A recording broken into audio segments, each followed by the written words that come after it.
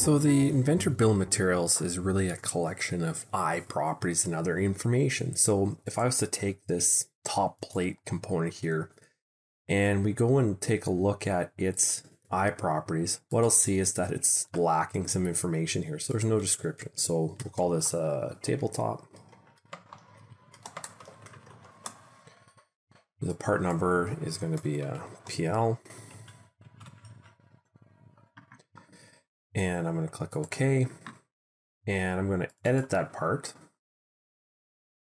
And let's change this to a steel material. So we're going to change this to stainless steel. So change material, change die properties. Now within the assembly, if I take a look at the bill of materials, what we're going to see is that that information has populated within, we can see that that tabletop plate is set. Now what I'm going to do is I'm just going to remove the thumbnail just to tighten things up. And I'm going to use the column chooser and I'm going to pick you know some other properties to display in here. And what I want to see is I want to see the, the material. So we're going to drag and drop that. You know, maybe we don't want the stock number.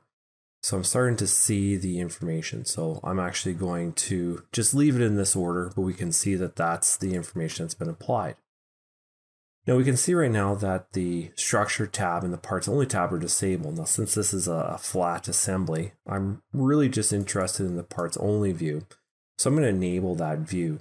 And you can see how, you know, the model data tab lists everything. So regardless of, you know, the structure or anything like that, whereas the parts only tab you know, will remove any subassembly. So let's just set this up in the way we want to see it. So I want to have a description. I'm not really interested in the BOM structure from here. Uh, I don't need the part number or the rev.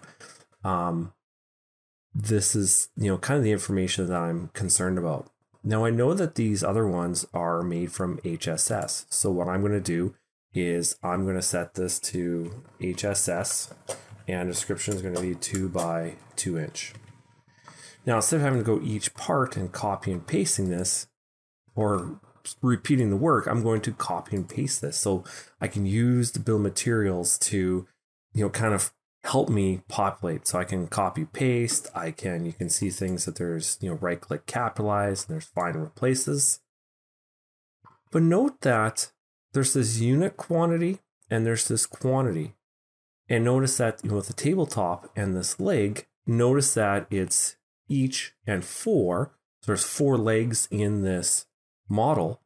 But notice that the short and brace are set to 8 inch as unit quantity and a total quantity of 16. So where did that come from? Well, let's go and let's take a look at this leg component. So I'm just going to double click on it. And I'm going to take the extrusion and I'm going to set the extrusion here. I'm going to set it and I'm going to name this parameter. So I'm going to call this length and I'm actually going to increase this a little bit. So what I want is I want this to be 14 inches and I'm going to name that parameter. Now I could leave it at the default D value, but it's going to make it a little bit easier for me to select. Then what I'm going to do is I'm going to go into the document settings. I'm going to go to the bill materials tab and I'm going to change this from a base quantity of each and I'm going to pick that parameter. So I'm going to pick that parameter. I'm going to set the base unit in inches or I'm going to leave it in inches. So we can see the settings, we'll click OK. So returning back to the bill materials and looking at the model data tab, what we can see now is that, you know, it's it's 14 inches as a unit quantity with a total quantity of 56 inches. So it's done what we wanted to do. Now, this would work quite good for a, you know, kind of a, a cut list, right? So I can see that I've got, you know, it's 14 each for a total. Well, what else can I can I show in here?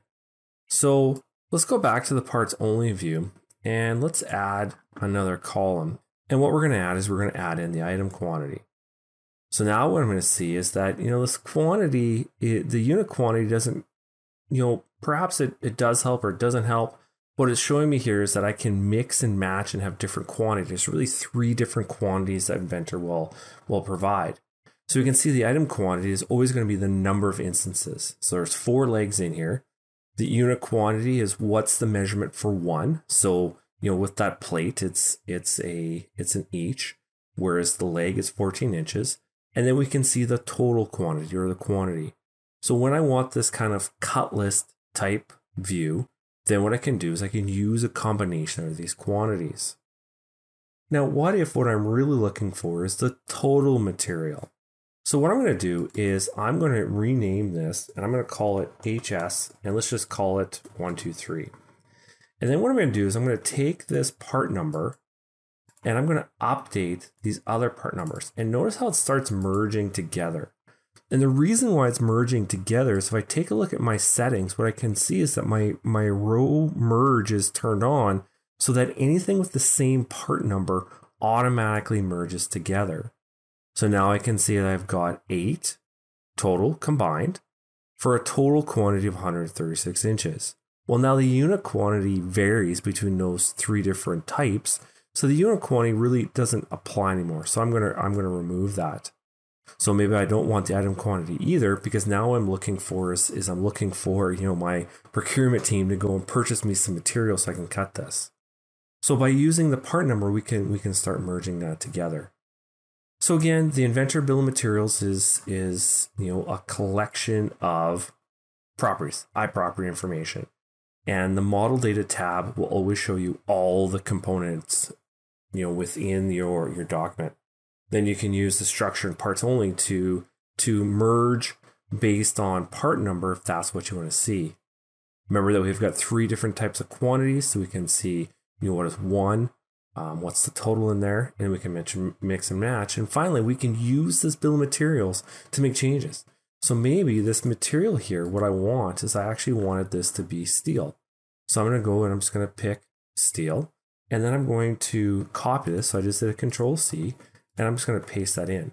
So again, I'm able to go in and, and adjust these properties right from within the bill of materials. We'll click done. We can see that that's changed. If we go in and we, you know, modify one of these, these instances, what I can see is that steel's been set. And if I look at the iProperties, what I'm going to see is that that revision value has also been set. So it's kind of the the basis for your bill materials and how you can you know start populating that information.